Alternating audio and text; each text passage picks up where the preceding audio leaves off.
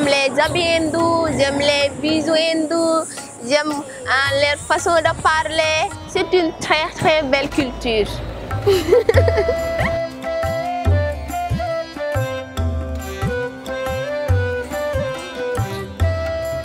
Je m'appelle Emma Malinissi. Ma passion est devenue à cause de ma maman. Quand j'étais petite, ma maman m'apprenait la danse hindoue. Elle était une danseuse. C'est pour cela elle m'a donné le nom de Emma Malini. Emma Malini, c'est une grande star en Inde. Quand je parle des prestations, c'est elle qui vient avec moi. Elle m'aide à préparer les habits, à mettre des bijoux.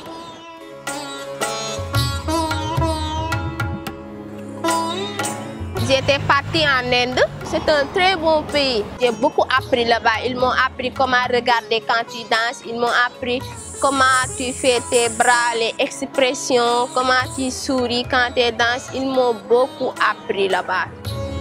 Oui, mes amis apprécient beaucoup la danse que je fais. Ils m'encouragent pour me soutenir.